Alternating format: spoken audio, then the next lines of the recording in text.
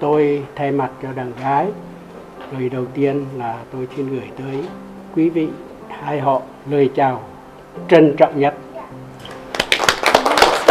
và lời chúc sức khỏe. Hai cháu cũng đã tìm hiểu nhau hơn 3 năm trời rồi và các cháu đã quyết định đi đến là kết tóc xe duyên trăm năm với nhau, thì để tạo cái nền tảng ban đầu cho hai cháu tiếp tục xây dựng cái lâu đài tình yêu thật hoành tráng và rực rỡ để tiến tới một cái hôn nhân đầm ấm hạnh phúc trăm năm. Thì hôm nay nhà trai đã chính lệ tới đàn gái để đính hôn cho hai cháu. Thì cũng mong rằng chúng ta là ông, là bà, là cha, là mẹ, là cô, là chú, là anh, là chị.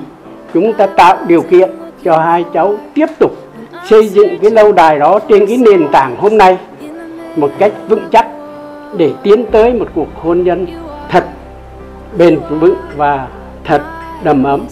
Để sau này còn đời con, đời cháu của các cháu nữa được thừa hưởng cái hôn nhân đầm ấm và hạnh phúc đó. Xin trân trọng chúc hai cháu trăm năm hạnh phúc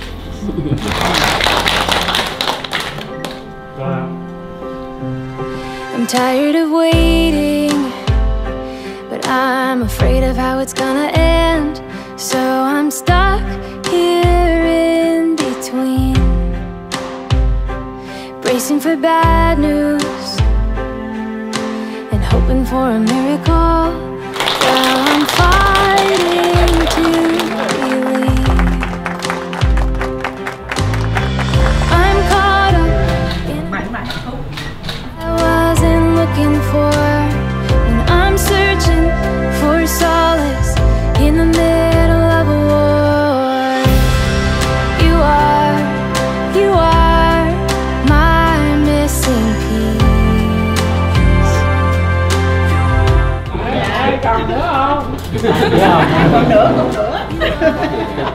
You are my missing Ừ, cháu ngoại tích